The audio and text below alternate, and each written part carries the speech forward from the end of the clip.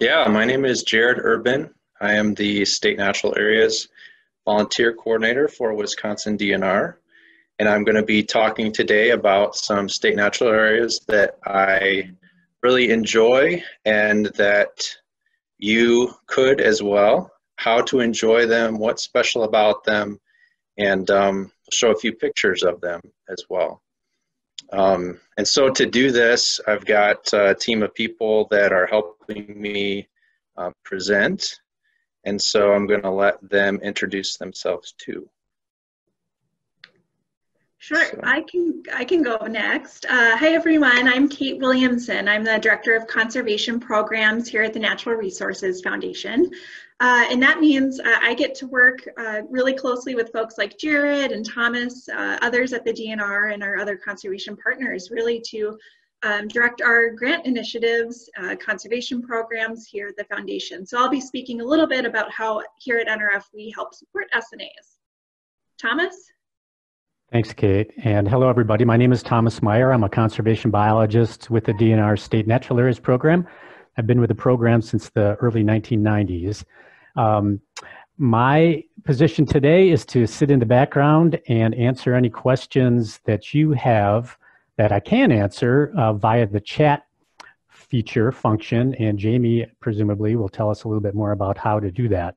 Um, so I will do my best to answer your questions. The ones that I can't answer via the chat function, I will uh, defer to, um, to Jared to answer later on. So again, thanks for joining us.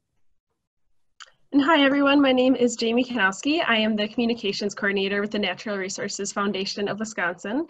And today I am also hanging out in the background just to make sure everything runs smoothly, um, help monitor the chat function at the bottom. We are also recording the webinar today, so you'll be able to watch it later on. We'll also be sharing out the actual PowerPoint presentation as a PDF, so you can view it at your own pace. And all of that will be available on our website, um, on our virtual field trips page. The easiest way to find that is just by going to our homepage at wisconservation.org. And there is a button right there in the middle of the page that takes you to our virtual field trips. Um, we're doing that every Friday. If you haven't been tuning in, please do. It's our Field Trip Friday series that we're doing this summer and spring as we're unable to be out in the field together in person. Um, and we have a couple really cool trips coming up. So um, yeah, turn it back over to you, Jared. I think for now, should the rest of the co-hosts, should we go ahead and just mute ourselves so you can jump into the actual presentation? Sounds good. So um, you can see this, right? Just to confirm. Yes, I can see it. Okay. So um, in your Zoom window, if you would like to engage in the chat, um, you can ask questions at any point and you can scroll into the window and find that there's a, a chat icon at the bottom. Click on that and then you can enter your question over on the right hand side. So I'm going to talk a little bit about the history of the State Natural Areas Program first. We have the oldest and largest state nature preserve system in the country in Wisconsin. Um, the program began in 1951 and the first state natural area that they chose to um, make a state natural area was Parfrey's Glen, which is a gorgeous site um, shown in this photo. So this is a map of almost all of the state natural areas in Wisconsin. There's almost 700 and they're present in every county except for two counties. So wherever you live in the state, you're going to be able to find an SNA that's close to you. The other cool thing about this map is that you can see um, areas of natural diversity where there's a lot of SNAs um, concentrated.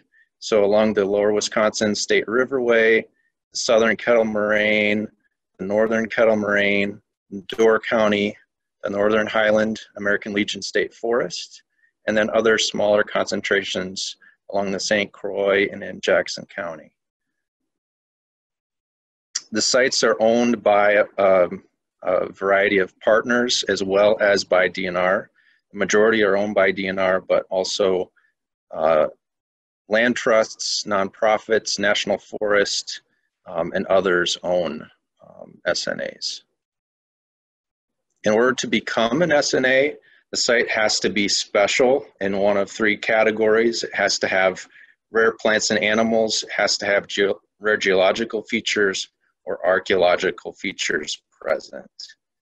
Um, and our main goal when we acquire an SNA is to not develop it. If there's a, a trail that exists, we'll leave the trail. But um, our program is not going to put out a lot of picnic areas, um, make roads, campgrounds, that sort of thing. Um, we do have SNAs within state parks that have trails on them, and other SNAs have already had um, trails on them, and so they will continue to have um, trails. But a lot of our sites do have uh, truck trails, like the picture that's shown, that if you know the site, you can walk around and get around fairly easily. To find SNAs near you, you can go to our website, dnr.wi.gov, and search for SNA or state natural area, and you'll find our website. And then you can search by county or by name of a specific SNA to find them. You can also utilize the guides that we have on our website that show things like how to find sites for good spring wildflower displays or fall colors, uh, or sites that you can uh, do some great paddling. So we have uh, a few staff based in Madison and also some field crews that are spread around the state. We have nine field ecologists that are each, each responsible for a region and they help to direct um, people within DNR and partner agencies on management of rare plant and animal communities. And our field crews are out on the ground um, doing things most days um, out in the field. One of their main jobs is removal of invasive plants. And they also do things like conduct uh, prescribed fires, collect seeds, plant seeds, um, do uh, rare uh, plant and animal surveys, some research, um, and they range in size from one to seven people, usually covering an average of eight counties apiece. And so uh, there's a lot of work to be done. I coordinate our volunteer program, which started in 2011 and became official in 2014 um, we have some of the most um, enthusiastic and knowledgeable people in the state uh, volunteering for us. Uh, it helps us to expand the work that we do. Um, and if you would like to learn more about what we do, you can check out our annual reports. Um, you can find that by going to our webpage, which you can find on the State Natural Areas webpage, or by searching dnr.wi.gov for um, State Natural Areas volunteers. The annual report links are off on the right hand side and they show lots of photos and some stories and so you can get a sense for what we do. In 2019, we impacted 49 different sites with over 5,500 hours. And on, if in normal conditions, we have work days going on every week. And so you can sign up for email updates in your region of the state, um, and you can get um, notifications whenever there are work days occurring. So I wanted to show this slide because not many people know where our funding comes from.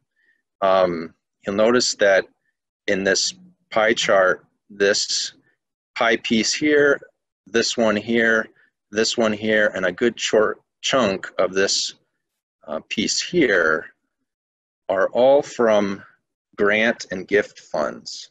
So over 80% of our program is funded through grants and gifts, not from taxes, not from the legislature. And a good chunk of this gray piece right here is funded by um, the Natural Resources Foundation. They donate um, funds to us to get more work done. And Kate is going to talk about that. Sure, thanks, Jared. Um, so hi everyone, this is Kate Williamson. Like I said, I'm the Director of Conservation Programs with the Natural Resources Foundation. And just a little bit of background on us if you're not familiar. We were founded back in 1986 to provide sustainable funding for Wisconsin's most imperiled species and public lands while connecting generations to the wonders of Wisconsin's lands, waters, and wildlife. Um, really, our founders back in, in the 80s had the goal of connecting private citizens and private sector funding to ensure that our natural resources really were adequately cared for, you know, given the limitations with state funding. Uh, so today, uh, many of you know if you participate in our field trip program when we're able to actually be outside and exploring, you know, SNAs and other places, you know that we're all about connecting people to Wisconsin and our natural heritage. We provide incredible expert-led field trips and tons of unique topics all over Wisconsin. We also have a new program called Wayfarers that's connecting 20 and 30 somethings to Wisconsin's outdoors. So if you know any millennials, feel free to connect them to that program. And we provide many other ways for people to learn about and experience our lands, waters, and wildlife, including getting students outside and hands-on with nature, supporting programs like the Master Naturalist Program and citizen science projects. Um, really great stuff. It's so important to connect people to what we have in the state. Um, but the other part of our mission, providing sustainable funding, um, is another really important aspect. And that's the part that really I focus on in my, in my role with the foundation. Um, sorry, Jared, I'll, I'll let you know when to, to go to the next slide. Um, sorry. No worries. um, and then, so we really work to secure funding and provide support to invest in projects, programs, and organizations that support the highest priority conservation needs in Wisconsin and build strong partnerships to really make that happen with partners like the DNR and, and many others across the state, nature centers, nonprofits, land trusts. Um, you know, we have a really robust network of partners that we're working on on conservation projects. Right, next slide, please. So each year we invest nearly $1 million to directly support more than 150 conservation and environmental education projects across the state. I think not a lot of folks, you know, if you're familiar with our field trip program, realize the pretty significant impact we're having for conservation work. It's, it's pretty amazing.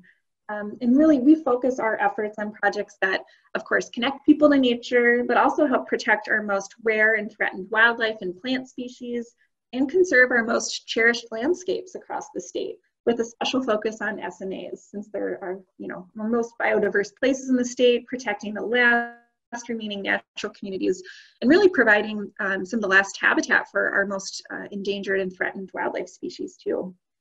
So really we're an important hub for conservation support in the state. Um, and I'll talk just a little bit about some of the ways that we help secure funding too.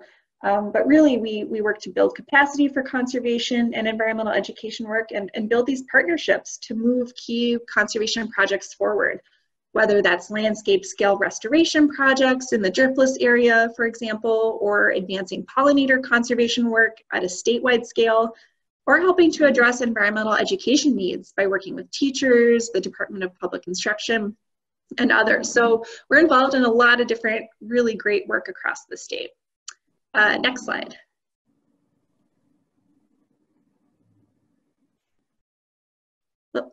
Thanks, Jared. So as I mentioned, one of our key focus areas is public lands in Wisconsin. And in fact, we're one of the only statewide groups focused on state managed and state owned public lands. So those managed by the DNR in the state. Each year we provide support for dozens of DNR properties. Um, including state parks, wildlife areas, fishery areas, and of course, state natural areas. We provide funding that supports habitat management for wildlife, that restores our most unique and imperiled natural communities, and we even provide support for infrastructure such as trail building and maintenance, campground rehabilitation, and more. We know that Wisconsin, as you do, has such um, amazing public lands, and we're so happy to be here to support them. And we do that through providing donations to the DNR to ensure that this important work happens. But we also connect people um, to these special places through our field trip programs, through volunteer events like National Public Lands Day and the SNA Work Days that Jared was just mentioning, uh, and much more too. Like I said, you know, our, we really have a focus on state natural areas because these are just such special places. And as you saw from Jared's pie chart, the SNA program really is in need of funding. Um, a lot of that work um, that we provide support for just wouldn't happen without donations. So the funding that NRF helps secure supports restoration and management work. Um, you know, last year alone, we supported work at dozens of state natural areas all over the state, um, from our Mississippi Bluff sites to our Great Lake shores, from southern Wisconsin's prairies and savannas, all the way up to our Northwoods, you know, last remaining old growth sites. Um, so SNAs, as we know, why we're all here on this webinar, there's such uh, incredible places that we have here in Wisconsin, and we're super glad to be a, an important part of protecting them. So next slide, please.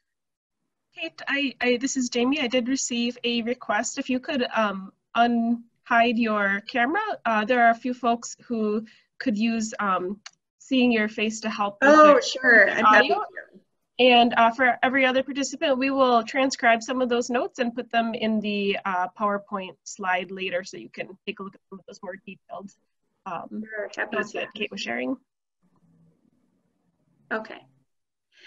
All right, so I wanted to briefly share how we do work and help support state natural areas, kind of what that, what that looks like behind the scenes.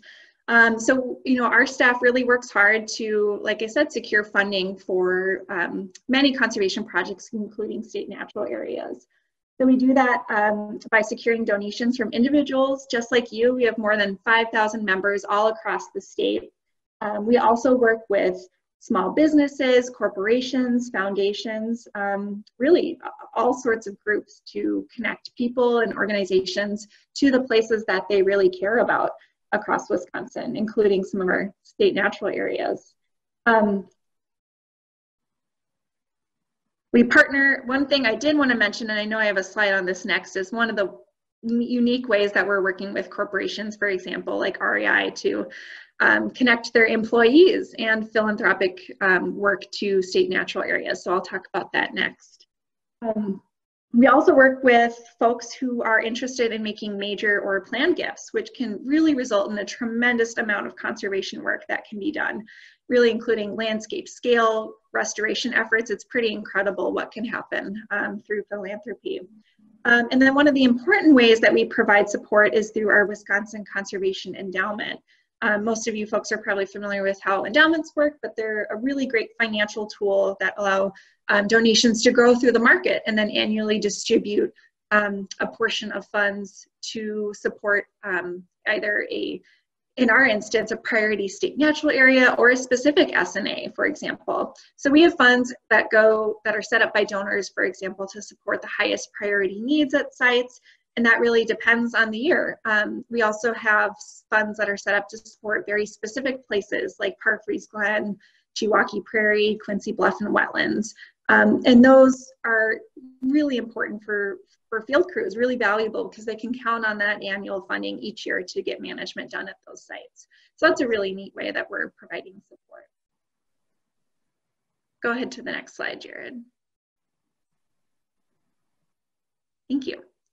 So as I mentioned, one of the fun ways that we're um, starting to um, have an impact on SNAs is by building these partnerships with um, businesses. And one of the ways that we've done that is with REI, which if you're like me, I was already a big fan. Now I'm an even bigger fan.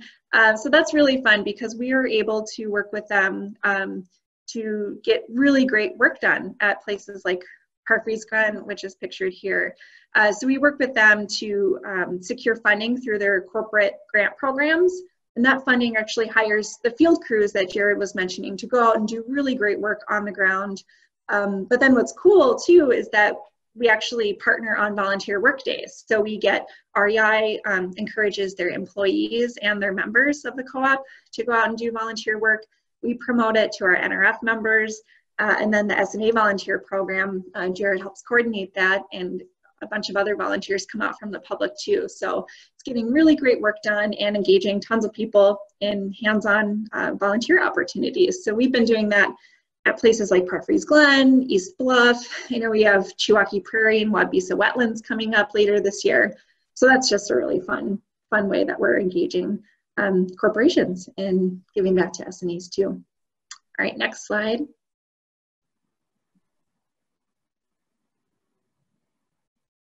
And just one last example of how NRF is helping to support SNAs. Um, hopefully a lot of you have heard of the Cherish Wisconsin Outdoors Fund. Um, that's a public-private partnership that we helped establish. It um, raises funds into an endowment, again, uh, to provide permanent financial support for habitat work on our state's public lands. Um, it's really a really great resource. Um, donate, and what's really cool about it is donations made to the fund. Um, some are made directly through NRF or via the Cherish website, cherishwisconsin.org. Um, but largely, the donations come through like $2, $5 donations when hunters or anglers purchase their licenses through the DNR's Go Wild system. So we've already raised nearly, we're almost at $1 million, I was just checking, from these voluntary small contributions from citizens across the state who really cherish Wisconsin. Um, and what's great about that is actually the last, actually all of the projects that have been funded through the Cherish Fund so far have been at state natural areas. Um, so places like the lower Chippewa River Basin, state natural area, Bluff Creek and Clover Valley Fen and the Southern Kettles, and then Lawrence Creek in central Wisconsin. So that's just a really great tool. It's wonderful that it's connecting people who care, you know, through these small voluntary contributions, but it all adds up to a big impact. So we're super grateful to be supporting state natural areas and I'll be around um, for the Q&A afterwards if any folks have specific questions. So I'll turn it back over to Jared. And just okay. one quick reminder uh, from Jamie, uh, folks, you can continue to ask questions down in the chat function. If you hover on your screen, there should be a gray bar that pops up towards the bottom. In the middle, there's a little chat icon. Um, and then you can go ahead and send a question and Thomas Meyer is monitoring those and will answer and we'll also be pulling those at the end and sharing out the Q&A online. So please continue to use that if you have questions. Thanks. Okay, great. So um, as a reminder, we are in a pandemic. Before we get into the um, tour of the sites, um, travel close to your location and maybe keep some of these spots in your back pocket for later um, if you're far away from them. You can monitor our DNR COVID-19 page for up-to-date information on any changes. So I'm going to um, highlight these sites. Um, I am based out of Fitchburg, which is near Madison, and so the southern third of the state is what I'm most familiar with and have experience working at since 2008. Um, and I threw Maiden Rock Bluff in there um, as well um, because it's a cool spot. But as um, I want to mention too, like you, you, don't have to limit your questions to just these sites. You can also ask questions about other state natural areas. Um, and Thomas has a significant amount of experience on sites that are um, more in the north. So um, feel free to ask additional questions if you have them. So I'm going to give you a slide that looks kind of like this for each site. And so it's got some icons over here on the left. Um, it says how big the site is, Lulu Lake, which is a large site in southeast Wisconsin. And the camera gives you an indication of how likely you're going to see some landscape level photos there. This is on a 1 to 10 scale, and this is my very loose estimate. Um, the unicorn is the number of rare plants and animals that are present at the site. The mountain is how steep the site is. So Lulu Lake has some steep features. It's up and down, but it doesn't have as dramatic of uh, elevation changes as the um, Mississippi River Bluff sites do. And then the climber on the bottom is uh, a rating of how challenging it is to get into these sites, how adventurous you need to be. So this is a, a map of the site. Um, you'll find this on our State Natural Area webpage for each site, each state natural area, and it shows where the property boundaries are and where you can access the site. Um, it also shows if other partners own parts of the site, and you'll see here the Nature Conservancy owns this orange section. There's actually a parking lot here, and you can walk about a two mile trail that goes somewhere like this and see the site that way. You can also come down to County J and park at this parking lot and walk up some truck trails through some restored prairie into some nice woods and wetlands and the trail curves towards the lake and ends about there.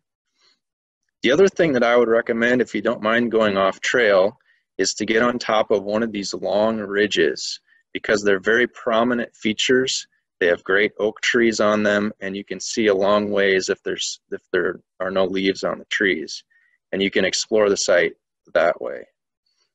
I'm gonna zoom into this section over here, about a 100 acre piece that's been managed most consistently in the last 12 years um, by DNR, and so it's in really good shape. So this is a zoomed in version or zoomed in map of uh, this section of property. It has very typical kettle moraine topography. Um, if you notice, it's hard to tell what's up and what's down on this map. Um, that's very typical of the kettles. So I recommend that you bring a, uh, a compass with you um, because if you get in the center of this 100 acre property, you can get turned around. But if you just walk in one direction, eventually you will uh, hit a road or a feature that you can recognize. Um, it has uh, kettles that were formed um, by the glaciers because as the glaciers pushed a bunch of rubble and rock, there were ice chunks mixed in. And when the glaciers re retreated, those ice chunks melted, forming bowls that were called kettles. So those features are really cool on this site, as well as the oaks. Um, there's lots of really great, cool oak trees. And the other um, great feature of this site is the wetlands.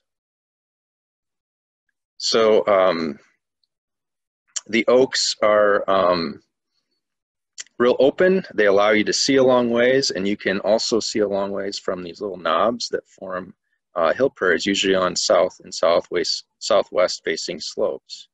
If you get on the top of one of these knobs or ridges, you can see into the wetlands um, a long ways.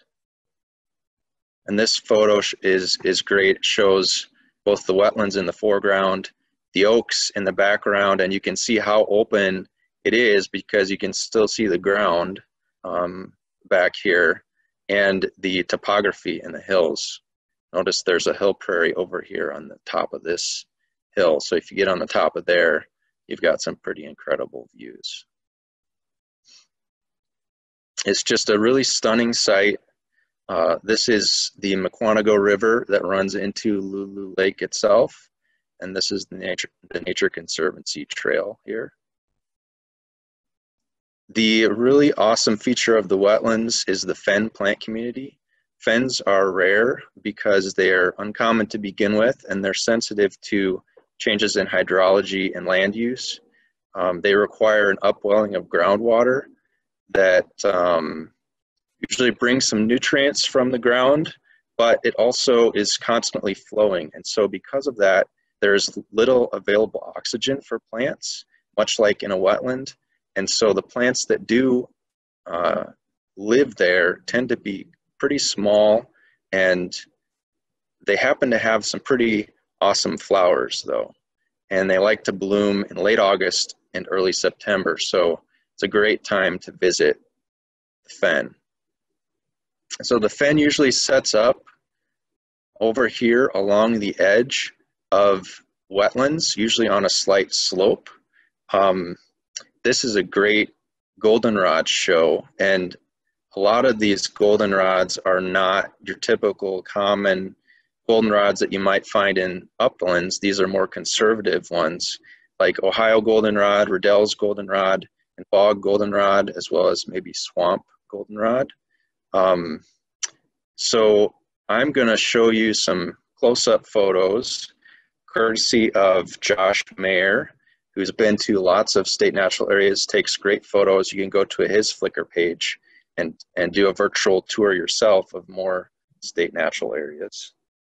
Um, I've also got a little graphic here telling you the name of the plant, but if you're like me and you just like cool photos, you can focus on that and go to um, the PDF that we will have posted later on to find um, the ID for each photo. So this is false foxglove. This is a close-up of an aster.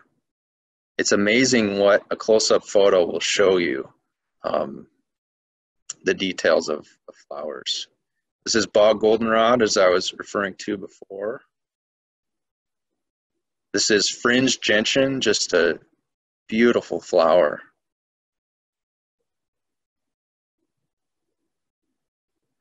This is grass of Parnassus, and it's believed, some believe that the lines on the petals direct pollinators towards where the, the goodies of the flower are.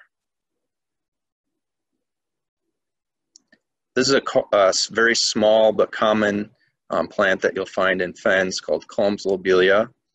A lot of these plants will also set up in calcareous areas along the edges of wetlands.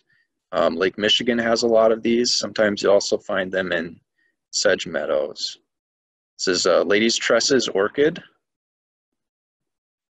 This is sneezeweed, which you might not think of being super beautiful unless you're zoomed in on it. But zoomed in, it, it looks awesome too uh, swamp lousewort, and turtlehead. So that's Lulu Lake, which was this purple dot. We're going to go up to Rocky Run, which is yellow dot in Columbia County. So Rocky Run is 455 acres in size. It has a similar level of topography to Lulu Lake. Um, although if you walk some of the truck trails that I will, will show you, there isn't much topography at all. And so if you walk those trails, you don't need to be super adventurous, but you, but if you want to get to this spot, to take this photo, then you would have to traverse some hills and be a, a little bit more adventurous off trail. So the title photo was from Rocky Run. You can see some of the views. Here's an aerial photo, and you've got three access points. Dunning Road has two access points, and then over on Highway 22, there's an access point. And this truck trail that runs all the way along site is um, what you can use to access the site. This area in here, actually the, the photos that you saw were taken right about here. And the best part of the site is gonna be in this area here.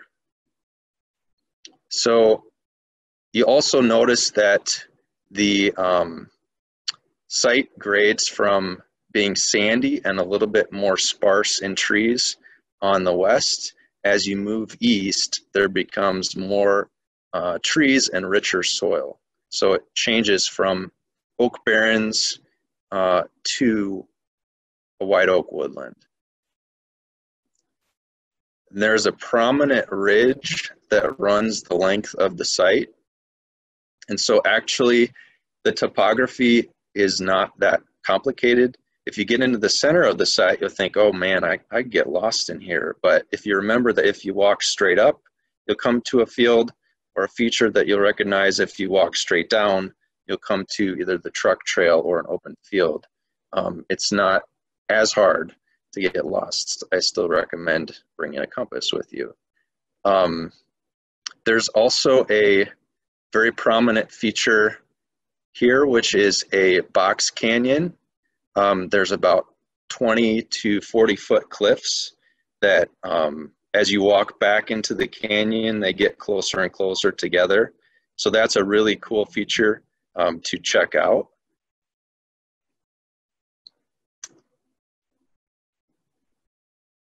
And here's the steep, one of the steepest parts of the site.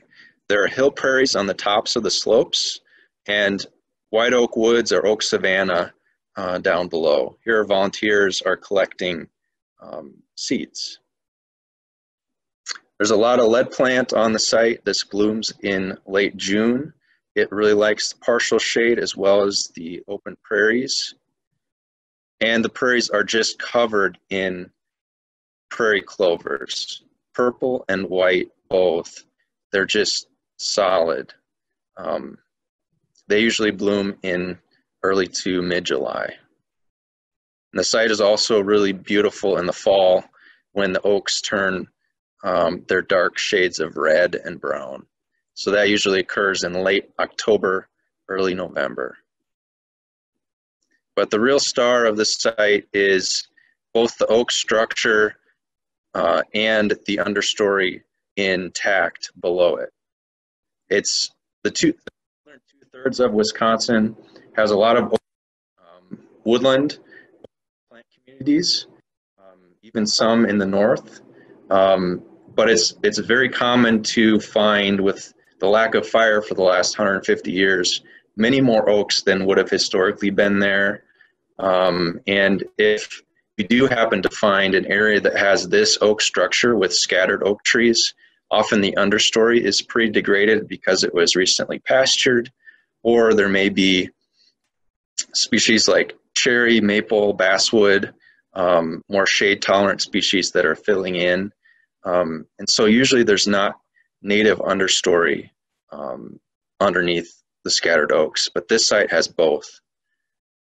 And that's primarily because of the prescribed fire that's been used here. We burn the site every two to three time, two to three times every four years. And um, because of that, it's constantly changing. Um, these oak trees will develop wounds at the base. Um, a lot of these these oaks in this picture are black and red oaks, and they're not quite as fire tolerant or as long lived. Um, and so they will, especially once they get to a certain size, once they, um, you've had 10, 15 fires, there's a wound that develops at the base of the trunk, and the trees are more vulnerable to being blown over um, by wind. And so this big shade tree here is putting out a lot of shade. So eventually it will get blown over and these younger trees will fill in and provide shade over in this area. So it's a constantly changing environment due to um, prescribed fire. This shows the great uh, oak structure as well, scattered trees in the lower slopes, hill prairies at the top. And this is photo of the white oak woodland. Um, also a beautiful area. It's very, very open. Um, not like what you would expect to find in your average Wisconsin woodland. Um, easy to walk through, and you can see the characteristics of the trees. It's also great to visit um, late May, uh, mid to late May when the geraniums are blooming, and late July to early August when the, the sunflowers are blooming. So I'm going to zoom into this middle section, which is where our volunteers have been working the most. Um, we have volunteer work days out here typically in, in normal conditions um, the first uh, Thursday of the month from 9 to noon. And we have work days also in the winter on Saturdays. So in the winter time, we will um, remove unwanted trees and brush by making fires I should note that there are pine plantations here, and we are planning to remove those pine plantations and already actively beginning that process because native plants and animals do not find valuable habitat or much valuable habitat in pine plantations. Um, especially the native plants and animals that would have been historically that, that are in oak barrens. So here's a, a before photo of a workday and an after photo. You can see we cleared out a bunch of red cedar. And it's really great when an area that you cleared responds well. And this particular area did respond well. Not every area does, um, but we had an incredible amount of prairie smoke that came up as well as pussy toes um, in this particular spot. And so we will collect from good areas. Here's a prairie smoke seed. and we'll plant that in our um, harvested pine plantation and turn that pine plantation back into oak um, barrens and sand prairie by scattering seeds that we collected. So that's Rocky Run. Now we're going to go up to Maiden Rock Bluff, which isn't too far from the Twin Cities and Eau Claire. So Maiden Rock Bluff is a very steep site, um, and it's also got really awesome picture opportunities, which is part of the reason why I included it. Um, it's 263 acres, and you can see it's right by Lake Pepin, um, and it has these other cool bluffs and great oak trees as well. But there is a trail that you can use to access the site. So um, you would park here, and you would walk roughly uh, something like this to get back to a viewing spot right here. And this is the view from the top. There's also a few cool plants that um, just get into the state on this site and uh, the western um, bluffs along the Mississippi River. Um, site plants that are more likely to be present in the Great Plains, and this is uh, the very farthest east of their range. So uh, one of the issues at Maiden Rock Bluff and many other driftless area sites, especially south and west facing hillsides, is they were historically hill prairies, but now they are red cedar forests. And so one of the first jobs is to remove the red cedar, um, burn it up into uh, in brush piles, and then uh, deal with whatever uh, non-natives come up, which is what we're doing and volunteers are doing in this picture. They're cutting and treating uh, buckthorn that came up after cedar was removed and um, more sun came in. And then we're also scattering some seeds. Uh, sometimes native seeds come in and that's what you're hoping for, um, but not always. And so in this photo, volunteers are collecting Canada rye and bottlebrush. And I think this particular seed probably went towards um, an oak savanna restoration where they were removing some of the more mesic tree species I was talking about before, like cherry, basswood, um, non-oaks and hickories, and scattering the seeds there to re return it to a savanna. So if you haven't been here in five to 10 years, it's changed a lot. Um, so I want to take a quick uh, few minutes to um, see if there are any questions that have come up. Uh, do we have any questions from the chat box that uh, need to be answered? This is Jamie. Can you remind me, are you able to view the chat box on your end or is that hidden because of the shared screen? I can see it, yep. Okay. Jared, this is Thomas. Uh, the only question that hasn't been answered is the last one from Jan Morlick. She asked, Jared, can you talk a bit more about the plant species that you mentioned found at Maiden Rock Bluff that are more typically found further west? Yeah, um, I was afraid I would get that question. I don't know specifics, um, the specific plants. Um, I, I think there is, I don't want to guess because um, I might get it wrong. So I, I think uh, we can we can find the answer for that um, and and send out an answer uh, later on. Jared, I um I'll um use the chat feature to answer that question. Thanks. Okay. Jared, this is Jamie. I have a question. Um, since the volunteer program has been temporarily paused with COVID, have you all noticed any, or, or, will there be any negative impacts on these areas that usually depend on the volunteer program to for the maintenance? Yeah, um, there are some some so for example um, we're just getting into the growing season right now. Um, and garlic mustard is the one of the first invasive that's being dealt with. Um, there's still time to control garlic mustard but um, the longer we are not able to get to garlic mustard, um, the increasing chance that we might go a year without controlling it.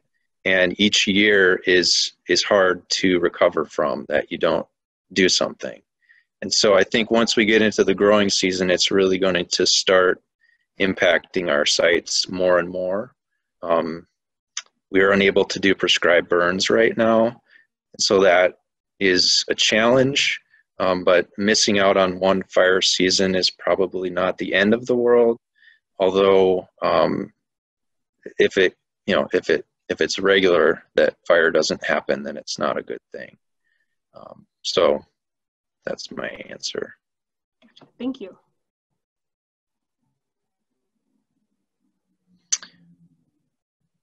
Uh, so i will go ahead and keep going here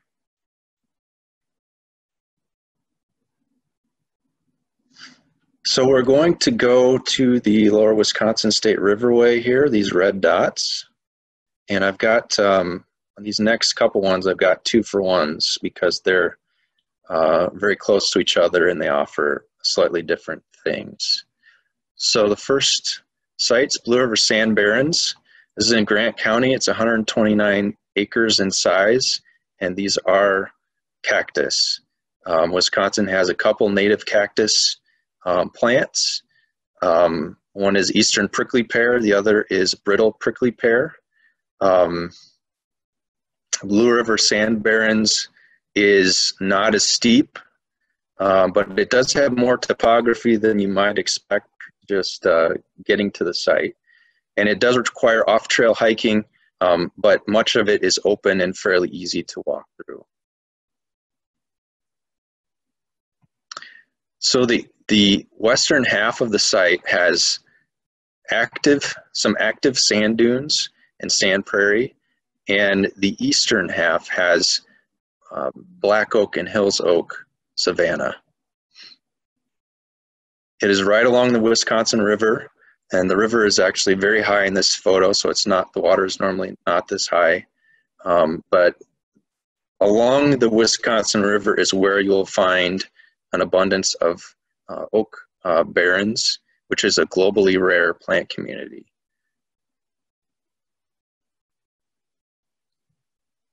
This is a close-up of the eastern prickly pear.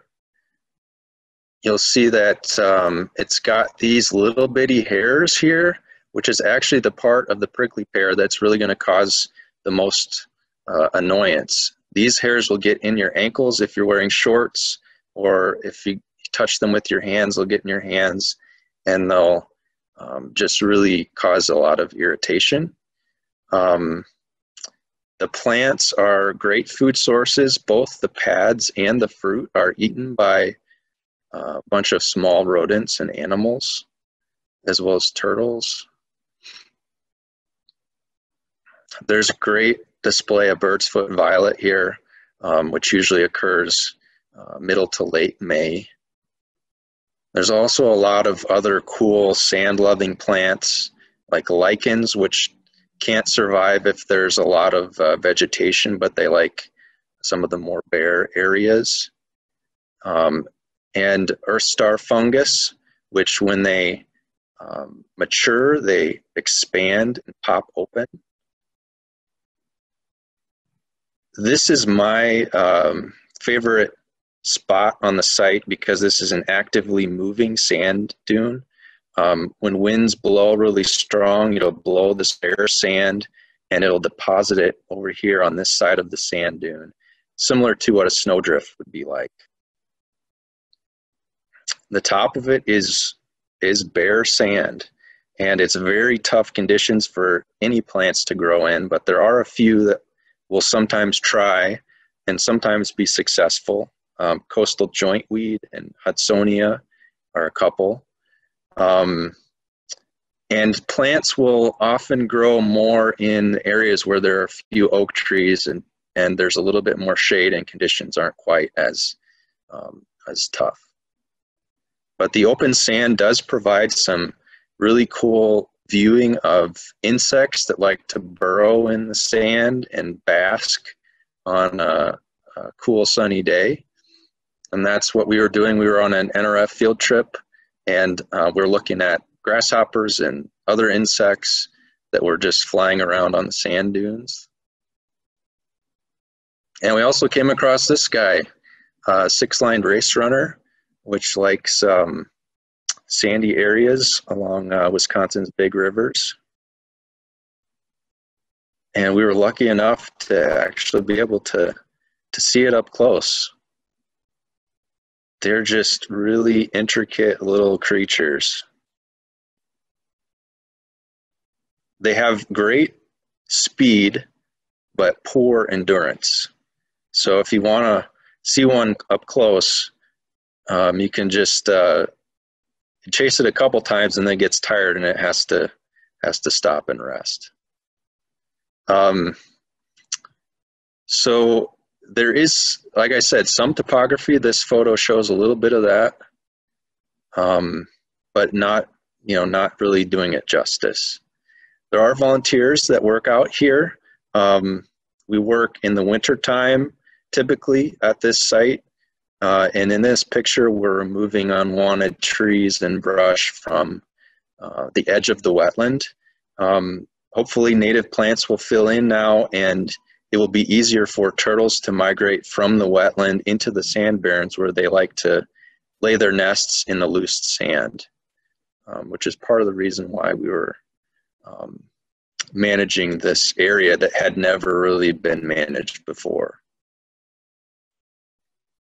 And uh, since there's those pine plantations are nearby, um, we're always uh, doing some, well, recently we've done a lot more pine removal.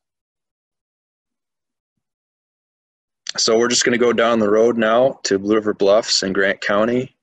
Uh, this is a steep site. Uh, there are no trails, so everything that you explore here would be off trail. But I'm gonna give you a little potential hike.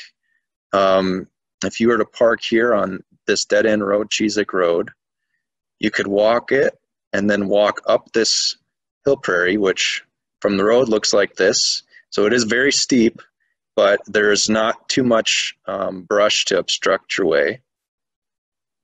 And you get to the top of this ridge, and you can walk this ridge, which gets, which gets really narrow and has great views all the way around, just following the top of this ridge, and then down and back to your car. So you can make a little bit of a loop of it.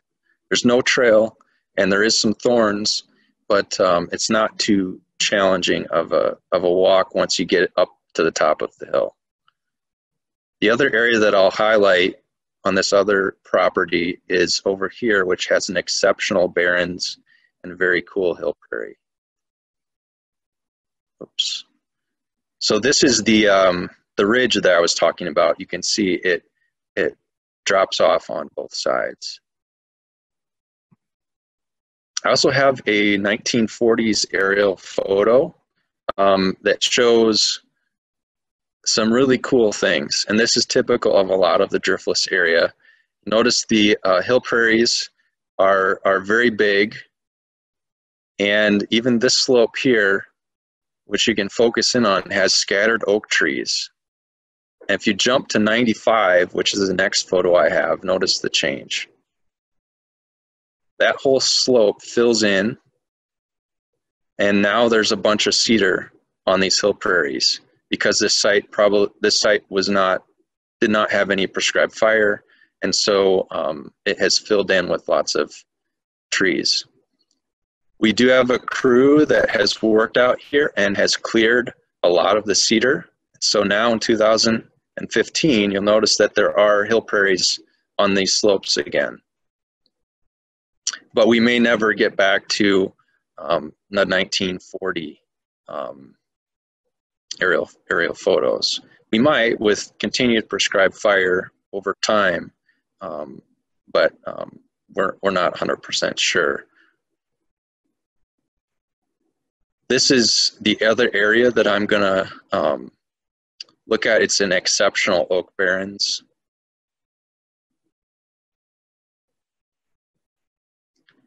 When we do conduct prescribed fires on these sites, uh, there are some challenges because there are invertebrates that are rare that live on these hill prairies. They lay their eggs at the base of the slope and in the stems of these plants.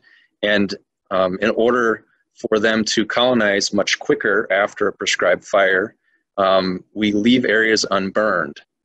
And so there's a crew that is putting in an unburned area over here in this photo, in the middle of this photo. Oops and it requires some planning and a significant amount of work to do that on these steep slopes where the fire fire is um, likely to carry. But it makes for some great aerial photos. There you can see the unburned area here and here. Um, we've talked about making SNA in the hillside, but we haven't quite pulled that off yet. And there you can see the unburned area here. And again, this is uh, the other site. We call it the Ellenbolt property. Um, and this is the Oak Barrens. I'm going to show you a photo of this. Unfortunately, I don't have too many photos, but it's just super diverse place. If you go there every couple weeks, you'll see different flowers blooming. So this is a photo of the lupin, um, which probably occurs in late May, early June. And then I'm going to show you some photos of other plants present on the site, including yellow stargrass.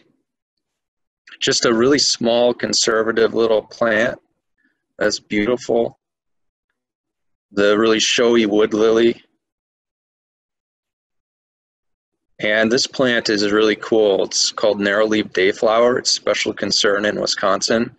Um, and you may be familiar with the garden variety Asiatic dayflower, um, but this one is much more subtle and is, is really gorgeous and cool to see in the wild.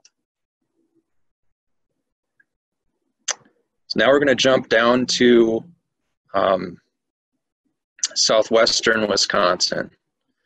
First, we'll start at Cassville Bluffs. The site is in uh, Grant County. It's uh, super steep and requires some adventuring to get to it. Um, you can walk up the bluff here. Uh, this is Mississippi Valley property. To get up to the top, um, there is a road that you can take. Uh, the best parts of the site are back in the back corner. The reason that I bring this site up is an aerial photo. You can see there are some hill prairies here. The reason I bring this site up is because it has chinkapin oak savanna, and it also is is going to be less likely that you'll encounter people um, since the other site is Dewey Heights Prairie within a state park. Chinkapin oaks are special concern trees in Wisconsin, um, and, and they're only found along the Mississippi River and in southeast Wisconsin. This particular tree is in southeast Wisconsin, and I'm comparing it to the size that you'd normally find along the Mississippi River. This one is huge. Mississippi River trees are much smaller, um, but they are a very cool tree. They like to lean over towards where the sun is. Um, they have white oak bark. Uh, it looks a little bit like white oak bark, um, but it's sometimes a little shaggier. Um, and they have odd looking leaves um, unlike any other oak tree in Wisconsin. It's thought that they may be a very important plant for climate change because it's they're at the northern edge of their range right now, and um, when things can, if things change in Wisconsin, they may move north. Here's some puccoons we left un, unburned. If you get up to the top of this site, the only thing that will be between you and the river is a railroad track. There are no roads down there. Then the last site is uh, Dewey Heights Prairie. It is within Dewey Heights State Park. It's currently closed on Wednesdays and it's open from uh, open until 7 p.m. Has some exceptional hill prairies. Uh, tons and tons of rare plants and animals are present here and you can drive to the top. So it's really easy to access. This is an aerial photo, and so the road comes up like this. Um, here's the end of the road, and the hill prairies are pretty large in size. Here's the aerial photo so you can see the hills are very steep here, or a, a topographic map. You can see the hills are steep. Great views. You can just get out your out of your car and you're on a hill prairie.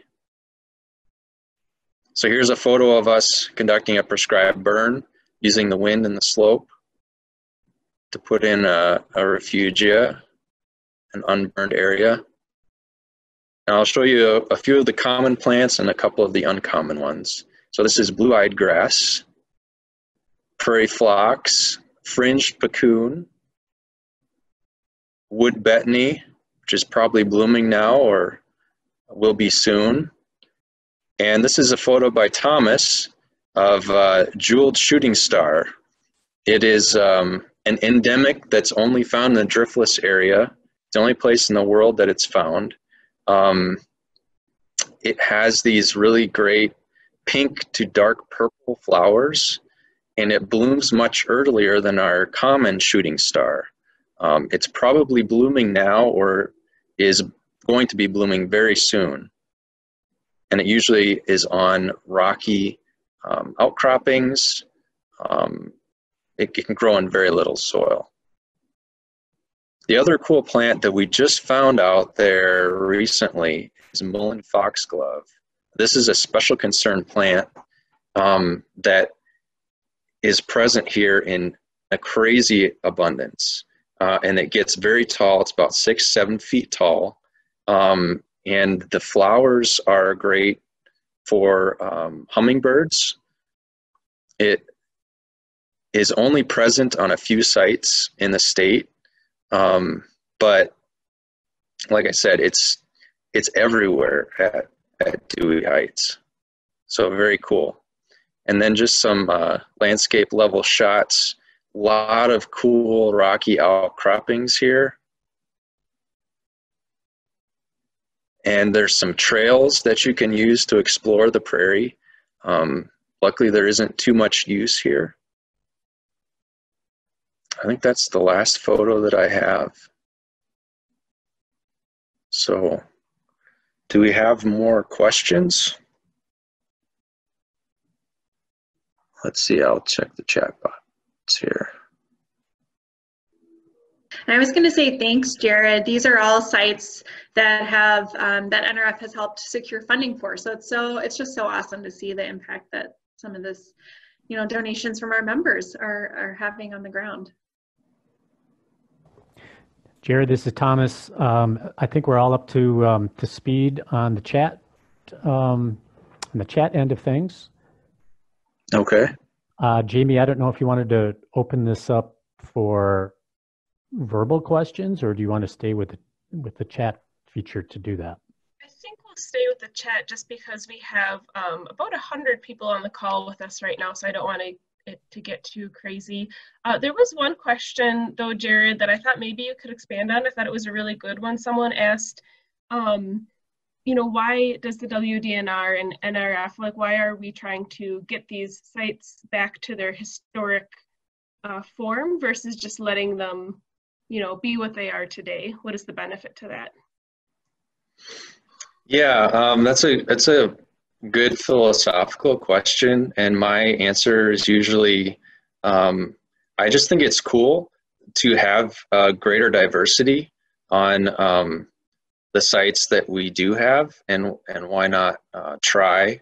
And i like our the native plants and animals that we have had. Um, historically they're still around. They're still here in small numbers.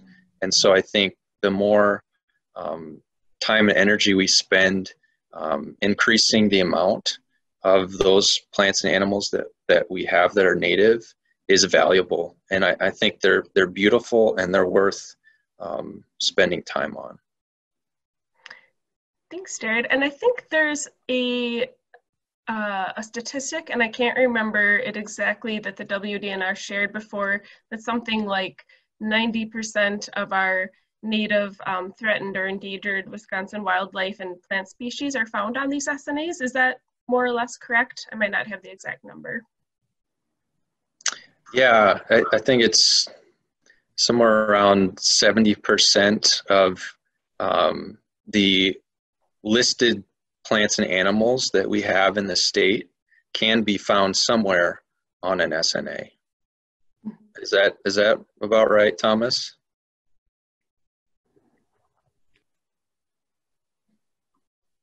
S- Sorry, Jared, can you ask that again? I was responding to a chat.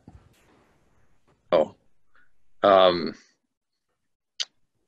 Jamie was talking about the stat that um, a certain percentage of rare plants and animals were found on SNAs.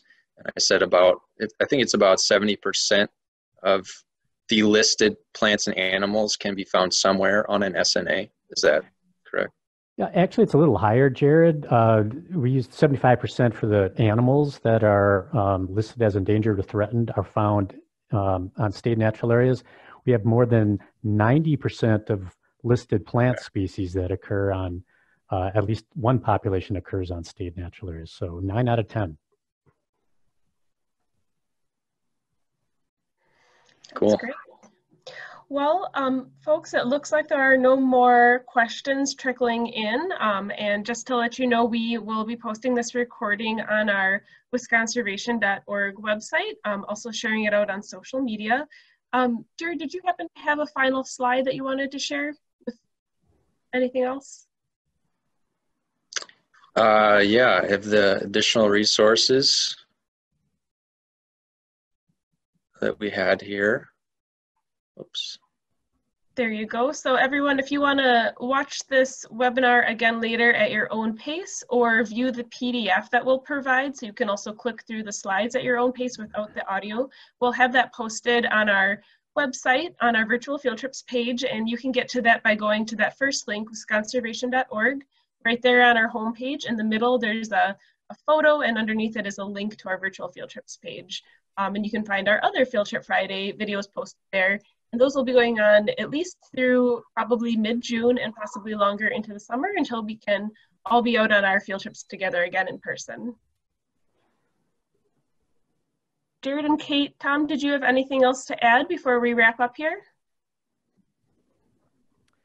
Just a huge thanks to Jared and Thomas and the rest of the SNA program for all the awesome work that you guys are doing. You bet. Glad that we could share uh, some photos and uh, glad that people get a chance to see some more of these sites, even though they're, they're still at home. Fantastic. And if you guys all liked this SNA presentation, we focused more on Southern Wisconsin, but uh, Thomas Meyer, who was joining us today and answering some questions, he'll be doing another SNA tour uh, more broadly of all of Wisconsin, and that'll be coming up in a few weeks on our Field Trip Friday.